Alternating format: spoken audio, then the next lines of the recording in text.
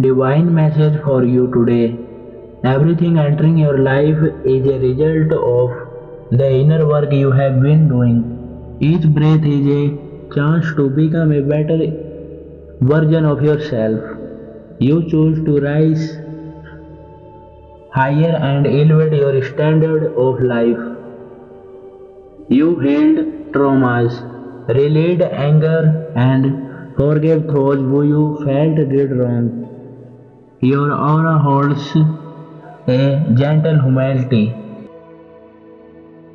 You move with the energy of forgiveness.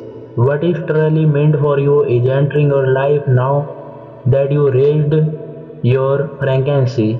Source is saying to you today, it is all working in your favor. You are currently being guided into your highest soul expression. All of the challenges, the setbacks, the painful lessons are meticulously designed to deliver you into your dream life. The moment you choose to let go and fully surrender to God's plan, you allow miracles to pour in. Every soul that you meet is not by accident.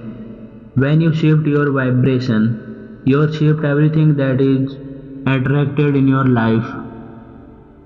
Type Amin if you believe in God. And don't forget to subscribe my channel.